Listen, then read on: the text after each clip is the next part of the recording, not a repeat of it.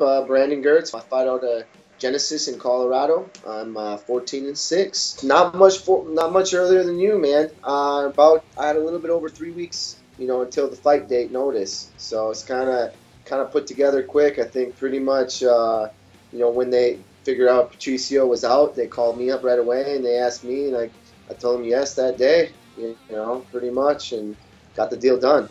You know, me personally, I thought I won that fight. You know, I thought I won rounds one and two. You know, like I said before, it's it's mixed martial arts. You know, I mean, I get this is the fight game. You got to batter somebody, but I feel like when you dominate one one one part of the game, which obviously ten takedowns to zero, I feel like it's a domination. You should there should be some credit for that. You know, it's it's called mixed martial arts for a reason. You know, if they're they should tell us that takedowns mean nothing. Then you know, and then I wouldn't have done that, and I wouldn't have been gassed out in the third round. You know, personally, but you know, it, what I take away from it, that dude was strong as hell. No one's ever been able to just. I get a takedown. Usually, I'm on top for a while, and I'm able to impose my will. You know, he he he basically bench pressed me off multiple times. You know, so I'll, I'll take away that. You know, the strength's definitely different, and I knew that going into the game. I mean, it wasn't that I, you know, I didn't. I knew that. You know, I knew that it was just going to be my speed factor. I knew he was going to be strong. I didn't. I didn't expect that. You know, I think I actually I got more. I had respect for Fernando then, but uh, I I see why he's you know one of the top welterweights, and that, that motherfucker is strong. You know, and I and I see I see why he's there. You know, like I said.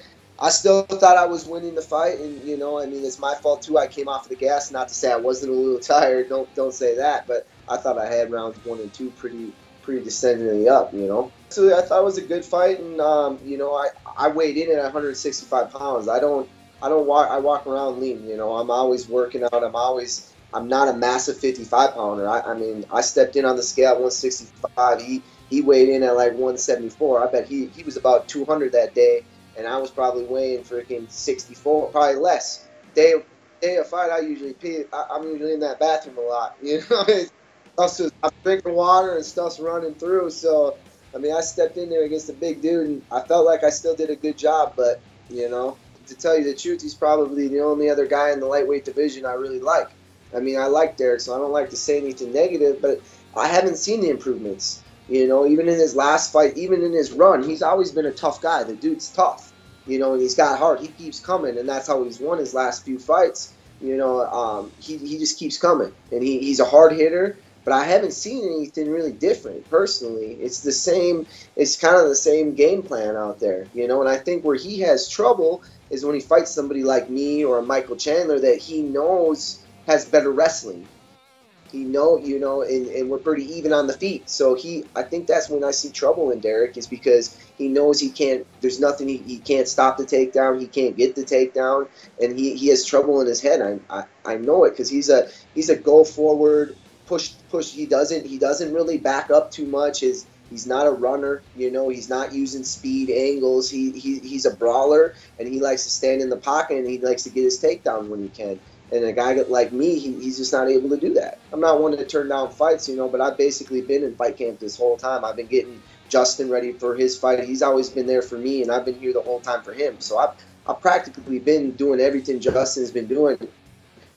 And no joke, it was probably only about three days that I kind of, because I was actually trying to get on this fight card earlier. I was kind of anticipating fighting July 14th, and then they told me it wasn't going to happen, and I kind of took a mental a mental break for three days. Like I kind of was like, well, I'm not gonna fight for a while, and I was still training though. It was only like a second, so I, it's not that I haven't been. I feel like I've been in training camp this whole time. Like you said, Justin's fighting, and he's fighting a southpaw. So I've been there. I've been there doing. I've been been there for him pretty much every day. You know, it's good, man. I like I said, I stay I stay lean, so it's not it's not that hard. I haven't really even thought about it too much. I mean, um, they Campos tried to get this at a catch weight. I mean, we are actually doing a catch weight. To tell you the truth, it's only 58, but because I wasn't really budging too much on the catch weight, because I want to fight 55. I look at it. I mean, if anybody should have been asking for a catch weight, it was me. You know, but I'm a 55 pounder. I want to fight at my weight class. That's that's what I want to fight at. You know, especially the last fight. I ain't trying to give nobody pounds right now. I want to fight at 55. That's that's my weight. you know, I think it's going to be a little bit more of a war, you know, and I definitely see see Campos being a little bit more hesitant. You know, it's not usually his game, but I know he doesn't want to get put away in 30 seconds again, and that's just definitely, no matter what it is, we need to forget about our last fights or whatever, but that's still in his head. There's no way that's not in his head that the last time we fought was 30 seconds, and to a fighter, you go out there and you do all the work, and the fight's over in 30 seconds, you feel like you got nothing. You just went through a whole training camp and didn't even get to didn't even get to show your skills. You know, so I know that's going through his head. So I don't feel like he's going to be coming forward quite the same as he normally does. Not to say the war the war will start at one point. I know that, and, he, and he's a warrior, you know, and um, it, it's going to be a good fight. It won't be as quick as the last one, I'll guarantee that. But it, it, it's gonna it'll be a fun fight, and I, I, guarantee I'll be on top of that. You know, after I had to have my second ACL surgery, I came back and lost to Piccolotti, and then this last fight, I mean, it kind of brought me a little bit, you know, down. I was on a roll there for a little bit, and I want to get right back there. You know, title shot was right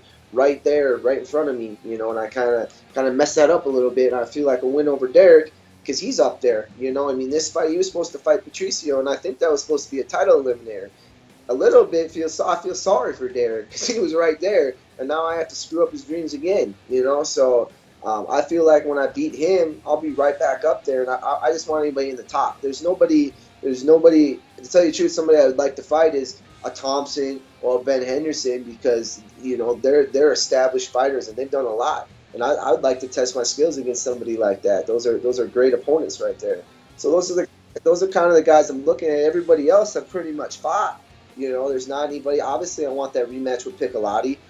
I don't feel like that should be the next fight just for his his sake. I don't think he should hand me it next. I mean, if he, he's smart, you know, I think it'd be a disservice for him to hand me the rematch right away. You know, but uh, that's a fight I want back. I mean, that's a fight I was tentative that was coming off my second ACL surgery. I, I, didn't believe in my knee, you know, and that you saw in the fight, I, I didn't push forward until the end, you know, when it was too late. I mean, I feel like Chandler's a champion. Chandler's the guy I've had my eyes on since I joined Bellator. I feel like he's at the top of he's the top guy, and I've always felt that. I got respect for Chandler.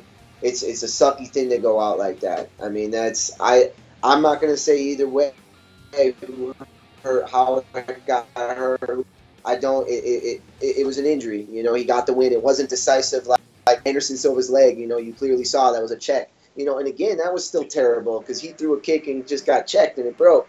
It's a horrible way to lose. You know, and this could have been Michael Chandler step back, rolled his ankle, and that's how he lost. You know, and I just, I, you know, which kind of sucks is I even got a little bit more respect for Chandler after that fight, which pisses me off you know, because this is a guy I'm heading for. But he he's a tough motherfucker after that. You know, he he was still trying to fight. I feel like the fight shouldn't have been stopped. Clearly, he was hurt, yeah, but he didn't say stop. He didn't ask to get stopped. Let the guy keep fighting. You didn't. You didn't. He didn't try to stop. So I know. I know this this fighter safety and all that, but uh, the man didn't stop a beat he didn't he didn't try to for anything, and I gotta respect that, man. That was that was cool. That was cool. I, I didn't like seeing. It. I'm like, damn, this dude is even a little tough. He got even a little tougher than me. You know, he's a he's a he's a good guy. But to say what happened, I, I can't tell you that. I'm not gonna say that the kick didn't do nothing. We don't know. I, I, we don't we don't exactly know. It wasn't that definitive to say that you know you, you, you we just really don't know. It's God knows that one. That's it. You know lucky for Primus, he, he, he he's got the belt. You know, they definitely should fight again, which I also think sucks because that's going to back up the division for a second again. That's why I didn't like it, you know, because I feel like they should fight again, you know, even though I don't want to see that shit. You know, I want I want the division to keep moving along, but I think they should fight again. Um, yeah, check me out at Brandon Girtz MMA um, on on either Twitter or Instagram and, and Facebook. Um, you know, I just got to give a shout out to my, my big sponsor, Charlotte's Web.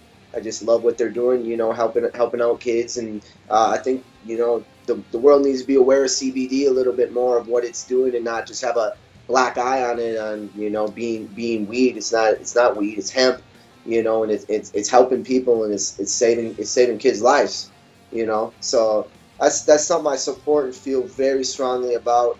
You know, that's a sponsor of mine, but it's like it, there's there's more to it. I've never had a sponsor like that that I actually like they're doing amazing things in this world. You know, so check out Charlotte's Web. You know, if you're if you're into anything, um, they're just doing amazing things for people and, and helping people live out better lives.